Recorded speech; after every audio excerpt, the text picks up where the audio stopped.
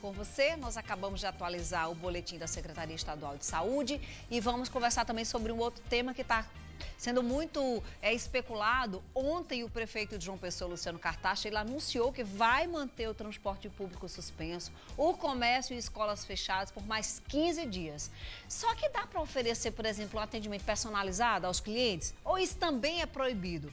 Essa informação está tá sendo muito ventilada, as pessoas estão, principalmente os comerciantes que oferecem serviços, estão querendo saber isso. Então a gente foi saber de quem entende tudo desse assunto. A repórter Ingrid Feijó conversar ao vivo com o secretário do PROCON de João Pessoa, Elton René. Boa tarde, Ingrid. Boa tarde, Fernandinha. Boa tarde para todo mundo que está nos assistindo. Sei que muita gente está com dúvidas aí do que pode continuar aberto e o que não pode. Por isso, a gente convidou o Elton René para a gente falar sobre isso. Elton, Pode. O que é que pode ficar aberto nesses 15 dias? Porque passeando pelos bairros a gente vê muito comércio aberto. Isso pode? Não, não pode. De acordo com o novo decreto, evidentemente nós temos uma dificuldade às vezes de interpretação de algumas pessoas. O decreto, inclusive esse novo decreto do governo do estado, ele abre algumas possibilidades para mecânicos, para pessoas que trabalham com essencialidade de serviços e, evidentemente, com a, a, algumas situações que você pode é, diferenciar, como restaurantes em rodovias, lanchonetes em rodovias, priorizando os caminhoneiros, priorizando os caminhoneiros. Mas nos demais casos ainda continua proibido e sendo apenas liberado, sendo apenas liberado a questão de produtos que possam ser trabalhados em serviços por delivery ou a modalidade takeaway. É importante que os consumidores eles também atentem sobre isso e façam a sua devida denúncia de acordo com as circunstâncias. O que pode acontecer se vocês, por acaso, se, a, se as pessoas denunciarem esses estabelecimentos abertos? Nossa equipe ela está na rua, né? Então nós já estamos fiscalizando. Lembrando que o nosso trabalho é em parceria com a própria Polícia Militar aqui do estado da Paraíba.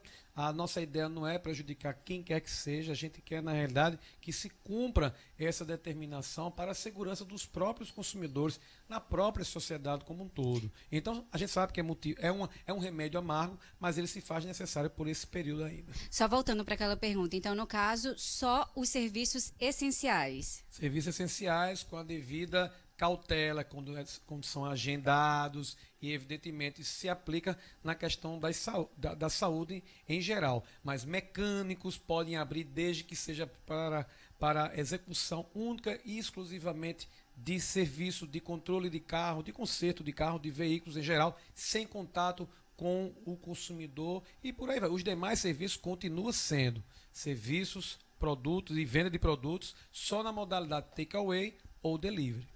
E aí as escolas continuam fechadas. Escolas continuam fechadas. A gente teve, inclusive, até uma, uma discussão agora recentemente com relação a algumas dúvidas de consumidores. Muitos entraram em contato com a gente se pagariam pelo menos a proporcionalidade. Foi editado, Feijó, uma medida provisória que garante ainda para as escolas o pagamento integral dos consumidores com relação aos seus contratos, à sua anualidade, porque eles diminuíram, a, digamos, o, o, o, a carga horária do alunado. Então, por enquanto, continua do jeito que está. Posteriormente, se se estender um pouco mais essa questão da pandemia, com certeza vai haver uma nova avaliação e o consumidor vai ser respeitado na sua proporcionalidade. Agora, só no momento correto. Por enquanto, nós estamos ainda aguardando. Aglomerações continuam proibidas. Como? Aglomerações. Sempre. É, é importante que o consumidor, e isso também eu faço uma reflexão para os consumidores em geral. É, os supermercados eles estão tomando algumas medidas restritivas,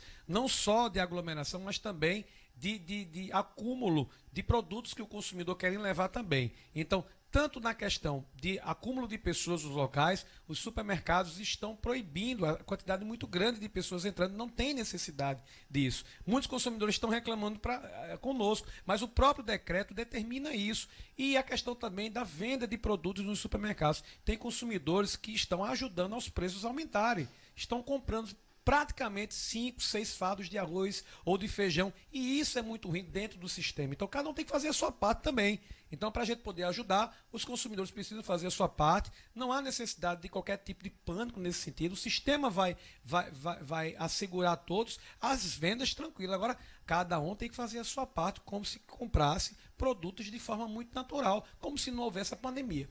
Muito obrigada, secretário, pelas informações. Pois é, Fernandinho, cada um tem que fazer a sua parte. Esse é um momento que a gente tem que ter muita empatia e cuidado com o outro, né? Se eu posso ter mais, então eu vou dar a minha parte a outra pessoa. E aí todo mundo sai bem nessa história. Contigo. A Ingrid, é verdade. Um beijo para Elton René. Inclusive, Elton é, me concedeu o título de cidadã pessoense e a gente se deve esse momento de entrega, já aprovado em unanimidade pela Câmara. E a gente está esperando o retorno dele para a Câmara Municipal para a gente poder fazer. Vou receber com muita alegria, com muita honra, o título de cidadã aqui de João Pessoa. Obrigada, Ingrid. Ele usou uma expressão aí, take away, que é leva embora, pega e leva, entendeu? Para quem não sabe, mas o que é que ele estava querendo dizer? É que é uma expressão que a gente usa, como a gente aportuguesou o delivery, que é receber em casa, você também está é, permitido take away. Você vai lá e pega e leva, tá bom?